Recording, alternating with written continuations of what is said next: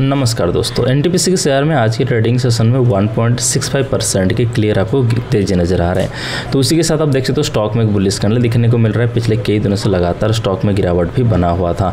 आज जो है एक bullish candle previous candle bullish pin bar भी था। सवाल आ रहा है क्या स्टॉक में यहाँ पे और भी तेज़ी आने वाला है, गिरावट आने वाला है?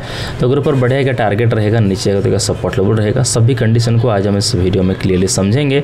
तो इस वीडियो को कंप्लीटली ज़रूर देखें। दोस्तों नोटिस कर सकते हो एन शेयर स्टॉक अप एग्जैक्ट लेकर हायर रहेगा कंडीशन बना के स्टॉक ऊपर बढ़ता हुआ दिखाई दे रहा है। और साथ साथ आप ये भी देख सकते हो स्टॉक अपने प्रीवियस का जो रेजिस्टेंस था, उसको भी ब्रेकआउट करके ऊपर बढ़ता हुआ देखने को मिला। तो यहाँ पर चार को स्टॉक ने हाई लगाया और सपोर्ट लेवल आपके सामने बिल्कुल क्लियर है और इसका नेक्स्ट सपोर्ट लेवल आपको दिखाई दे रहा है तीन सौ का, ठीक है? दोस्तों, थोड़ा सा और क्लैरिटी के लिए मैं आपको लेके चलता हूँ डेली टाइम फ्रेम पर। जब डेली टाइम फ्रेम पर चार्ट को आप नोटिस कर कर रहे हो तो आप देखेंगे स्टॉक में जो सपोर्ट लेवल दिखाई दे रहा है, यहाँ पर तीन सौ सतासी तीन सौ अट्ठासी का है। और स्टॉक बार बार यहाँ पर सपोर्ट लेके भी ऊपर बढ़ता हमें देखने को मिल रहा था राइट तो अभी वही कंडीशन यहाँ पे देखने को मिल रहा है। एक बुलिस कैंडल बना है previous candle bullish pin bar भी था।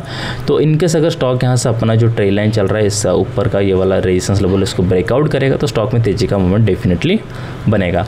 सो दोस्तों टारगेट की अगर हम बात करें कि हमारे लिए क्या क्या टारगेट यहाँ पर देखने को मिल सकता है तो पहला टारगेट चार में रहेगा, दूसरा टारगेट चार या चार सौ चौरासी पर रहेगा नेक्स्ट टारगेट रहेगा पाँच सौ उन्नीस और उसके बाद रहेगा पाँच